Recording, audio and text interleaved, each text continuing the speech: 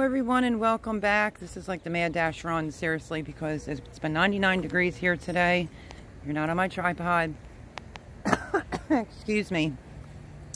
Super duper hot. I'm gonna try to pick these peppers off these plants over here with Chris. And can't bring you along for the whole thing, obviously. I will pause it, bring you back, show you how many peppers we could get. I had to go in and get snippers that's where we're at so far. So hang tight. I wanted Chris to grab the phone because if he comes in here, this is a total mistake. I meant to put this in the other bed. Do you, do you see what's growing?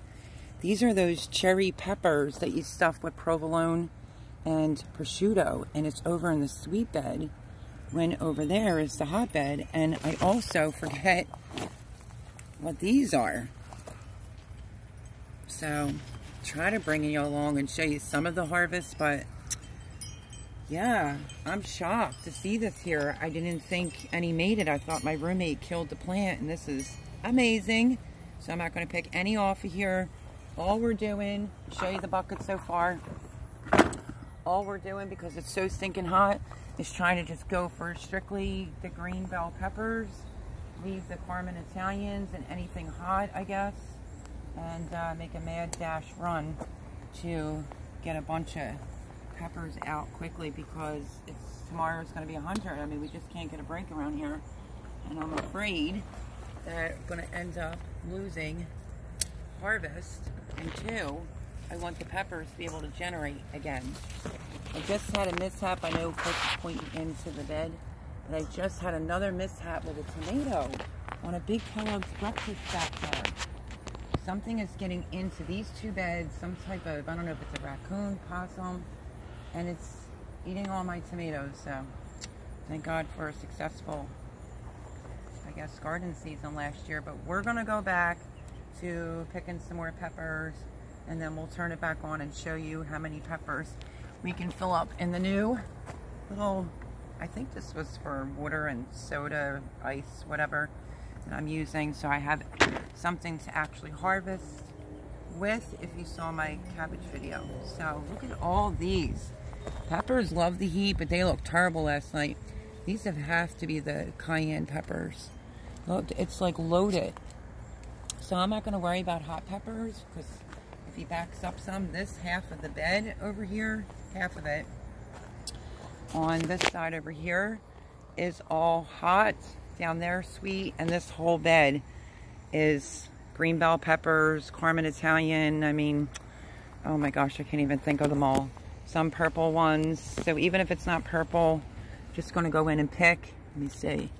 Um yeah my carmen italians. Let's see if i can get you a shot. Um okay so these two here are carmen italians. I was soaking it at the root last night uh, the giant Marconi. That's it. I, I, couldn't think of the name. So the giant Marconis are supposed to be red. I'm asking Chris not to break any of the plants. And um, yeah, we may leave these on. We'll have to just see how it goes. But let's do this mad dash run to get peppers. That's the tomato bed over there suffering really bad damage from whatever's getting into my garden and eating.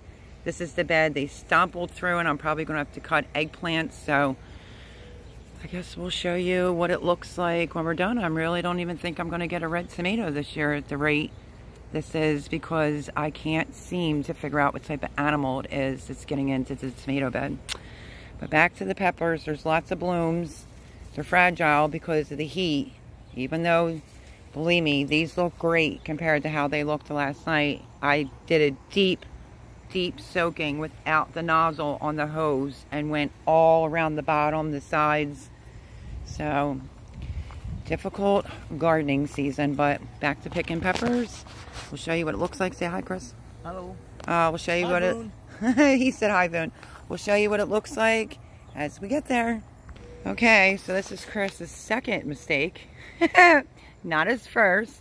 Um, he just picked a giant Marconi, and it's it's it is funny. You can let it ripen in the house, but look at the size of this pepper. That will be a gorgeous red. So I just said to him, please don't pick any more. But he picked it. The last one he picked was pretty big, but this one is actually way bigger. He's saying it's huge. so just wanted to show you that blunder and how big that pepper is. Now, back to work. Okay, so Chris has got the camera on. Folks, look at this. These are the big Bertha peppers. Now, I'm over here preaching, pick your peppers, pick your peppers, and I haven't. Um, I am having a couple falling off.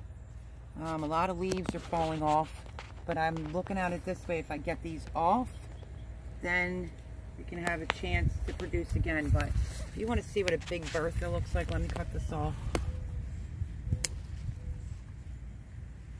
This is a big Bertha pepper. Let me grab another one off so the plant can make more. Look at the size of them. And the M.I. Gardner resistant peppers are sort of like this too. They're like disease free. So that's amazing. Can you see in there? Look at this. Another big gigantic one that's stuck. There it is. It grew a little funky, but whoops. Pretty big so. Um, so yeah, this is the bed. Oh, wow. Okay, hold on.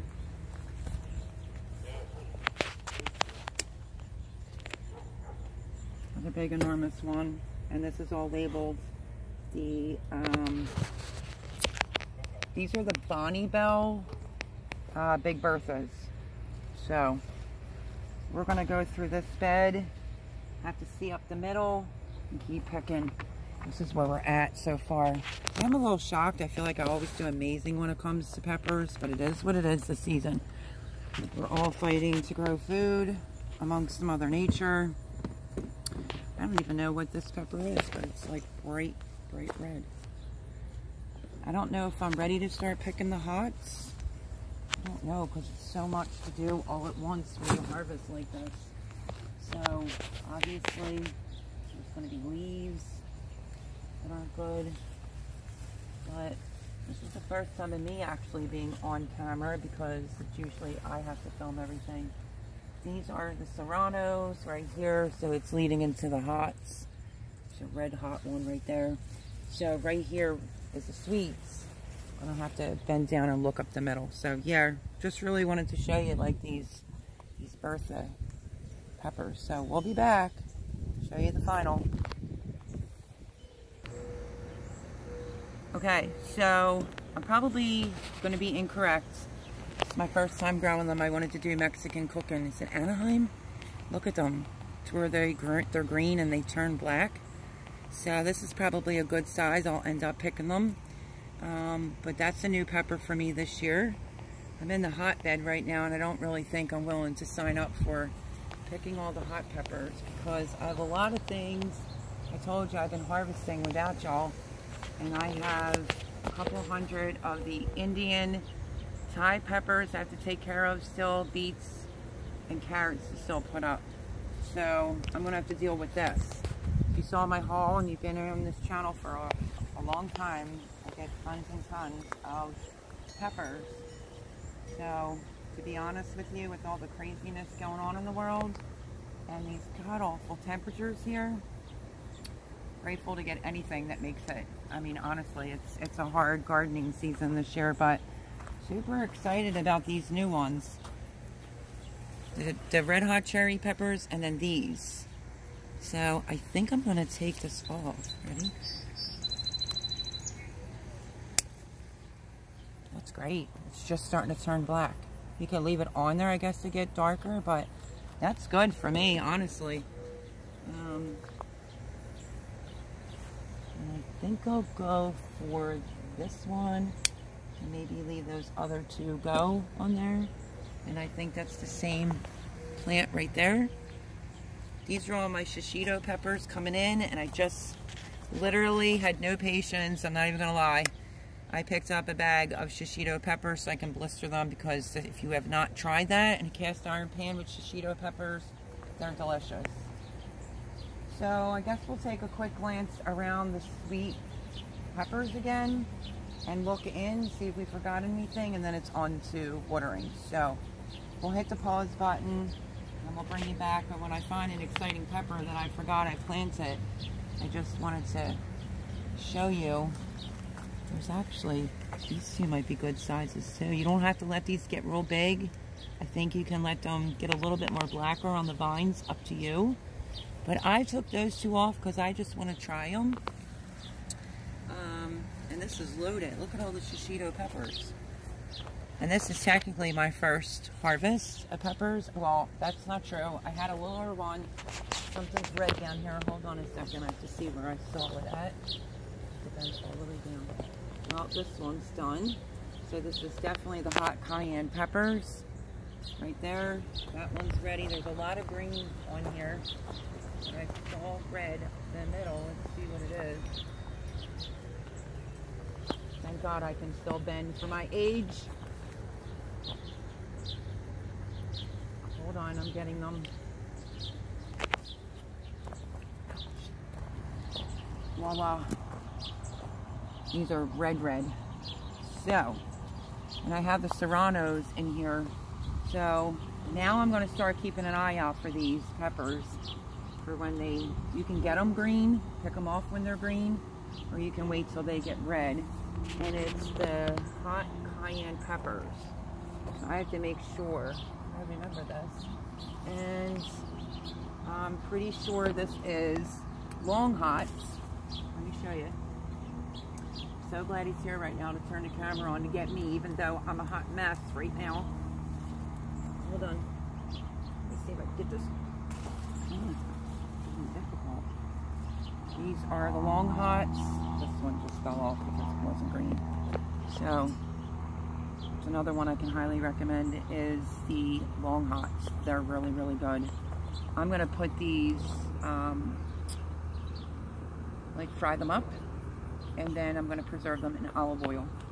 So that's that. So we have to do like another quick mad dash. I feel atrociously hot. Chickens have been struggling today big time as a little update. We bought an expensive fan. Well, the battery was more money than the fan, but they have a fan. But it's just so hot. So if I find another pepper or something I forgot I plant it. just amazed at how many buds are on this. And that's the trick, is to get all the peppers off. Don't hurt the flowers that are on the top and then you should get two more harvested peppers out of all of these. So, got to search up the middle, make sure we got them all off, and Chris is offering the water, so I am not going to fart around. Um, and I am going to let him water because it'll give me a break. Last night I took the nozzle off, in case I didn't say this, and I deep fed it watered, which was down real low at the root. So I guess we'll show you the pail. Oops, I'm dropping peppers everywhere. This is not bad for just a couple of picking some peppers. And I'm glad that I got this for $5 at Aldi's. This is heavy. Here, you've lifted how many, how heavy, or how many pounds would you say that is? A couple. A couple pounds. A couple. That's heavy. a lot of peppers in there. So let me see. I'm trying to turn this around without making you all dizzy. Sorry about that. But this is definitely worth it for five bucks. Most definitely. And you know what? I'm going to take it. Just found a couple more bigger ones. So, Anaheim, correct me. Leave a comment down below. I'm going to take these off. That's a decision that I made. And let this plant do what it's going to do because here it is. It has more buds and it has more peppers going. So we're going to search in between. But I think that's going to be it. Um, Sunday Night Live, 9 o'clock Eastern. If this is this big, I will show it on live. Um, I don't know. We'll have to see how many more we get. So, got to get in here and keep looking. And plus water. So, all right. Well, hang tight for a few more minutes. We'll see if we get any more and then we'll close this video out. So I want to talk about this a little bit. You know, I'm not a pepper um, scientist or whatever, but you see all this? This drives me nuts. I know a lot of this is probably coming down due to the hot temps here. But if I'm wrong, let me know. Um, it just worries me leaving the leaves underneath these plants. Look at how many pepper leaves are down. And that's time consuming to take them all off, but that is usually what I do. And I'll make a pile. So I'm just going to assume while Chris is back there watering um, that this is coming from possibly the heat. There's not a lot of flower buds. I'm probably sound like I'm screaming in your ear because it's real close to my mouth. There's not a lot of um, flowers dropping, just a lot of this going on. So yeah. But I am in here looking and stripping all the peppers off. Some people will leave them on there to turn ripe. Sometimes I'll do that. Sometimes I won't. But if you want another harvest of peppers in this heat, you're better off taking the peppers off so that the plant that has all the flowers and everything on it can have a chance to reproduce more. Um, you know, you just, just ends up being more successful with getting another big pepper haul. I do, like I said a few minutes ago, I'm so used to these enormous pepper hauls, but if you've been here a while, I was on Shed Wars last year, and I got a buku amount of peppers and tomatoes and just food in general. I think I grew 265 pounds of food. 260, wait, did I just say that wrong? I probably did. 2,000 and like 65 pounds of food. Let me correct myself. Um, so I do have things left over. You know, I don't need like a buku amount of tomatoes, but I would like to get a ripened tomato off of one of my plants. And whatever this animal is, to stop eating it. Um, as far as the peppers are concerned, I'm getting a, quite a bit. Um, and I'm not real concerned. I think I will get more. This is that variegated uh, candy cane pepper, so don't get alarmed and think, oh no, you have a diseased pepper in here. I don't. I'll show you what the candy cane pepper looks like. This is a little bit bigger, but see how it has like these stripes in it? It's just how the plant grows. I tried it last year. I liked it. Um, it doesn't give you a gigantic pepper, but that's okay. It's a good eating pepper. Right there. Interesting. Shiny and beautiful. So that is a variegated uh, candy cane pepper. Let me make sure. Yep, my candy cane. And the leaves are even falling off this poor plant here. So Chris is offering to do the watering and helping me out. We just figured let's just do a mad dash run and get these peppers. Now my giant Marconis and my Carmen Italians are on the plant. My friends, they're enormous. I mean, my garden could look great, These all on the other end. But yeah, not so much in other areas. You know, just squash, the bed looks terrible. But I don't know what to do. I want to pick them off, and then I kind of don't want to pick them off. Dropping peppers everywhere. And I just picked a whole bunch more basil. I have basil all over the garden. It's just the leaves, you know. I guess it's from the heat, but if you know that, um, please leave it down below. But this is going to be a big pepper harvest. Let me show you the size of these. Look. These are the Carmen Italians. This is a big one right here.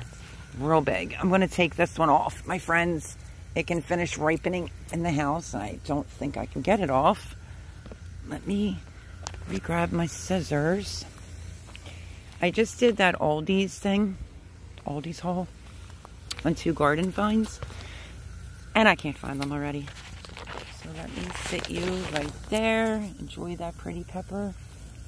While I try to cut this off. So I can show you the size of this. This will turn red. I had a lot of red ones last year. They were just turning red really quickly. Look, another enormous one. I love the smell of these peppers. These are the Carmen Italian. And I know because Mayan died from my roommate with the heat. So I bought two, and there's the tag. See? Carmen Italians. Unless I screwed up somehow. And they are the giant Marconis, but I'm looking in between. Look at these. It's huge. So I still think right now that it's going to be a big pepper haul for sure. Yep, what am I worrying for? It's going to be a really good pepper year. We still have, this is July, August, September for these pepper plants to continue producing. So I do think I will get quite a bit. I wish, because I was late getting my stuff out this year, but these plants are, this one is up to my shoulder. Usually my pepper plants are all the way up to my shoulders. You can see this is more bushier. Um, I got everything out, I think two weeks after Mother's Day because it was still cold here. So, yeah. Going to be a big harvest of peppers and I'm extremely grateful. So let's put this in there. And I just thought it was funny that I just brought um, snippers, I call them, and can't find them. So this is pretty much almost got a little bit more room and it will be filled. So I wish I remembered because that's what I was going to say. The wind blew my cups away before I could label them. And I'm just not sure. But I'm so happy about this. I hope it is abundant. I, I really do, so I can just make my own. Because um, I usually do like to treat myself to that every once in a while. It's the, um, the cherry peppers with the provolone and the uh, prosciutto. Amazing. And I am, I always do this. If I'm out of bed and I'm harvesting, I will prune my basil. So again, you're looking at um, a basil and pesto video today. This is later at night. Chris is in the back trying to help those zucchini plants out. Um, and I'm telling you, the amount of basil pesto I'm going to be making is going to be like, I don't know, lots of jars. I just took my time doing that video. I haven't made pesto in a little bit, and I haven't had my blender here in a while. But that's really easy to do when you put everything right into your food processor. So I am going to be making more.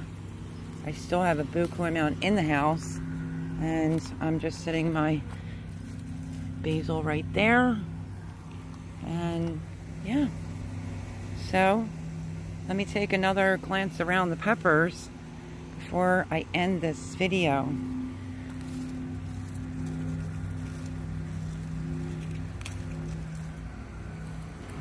Mm, I love the smell of basil. I have to say that that's big. Pepper haul, everyone. It's kind of heavy.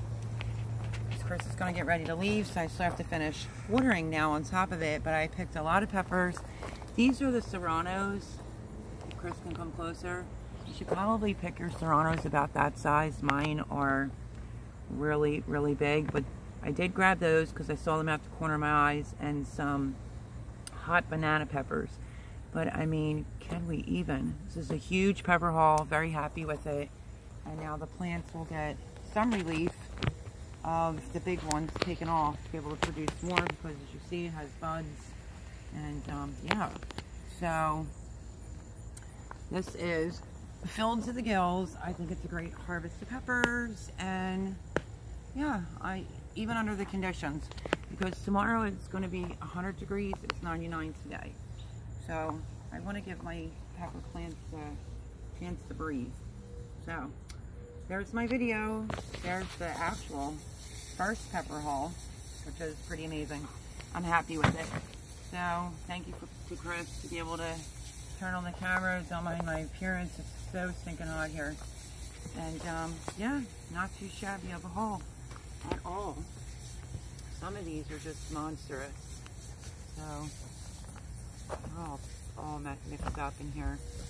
So if you have ones like the Carmen Italian, ones that are supposed to turn red, which I see another one. I did pick the other ones off too, by the way, Chris. I'm just gonna let them go red inside the house and enjoy them.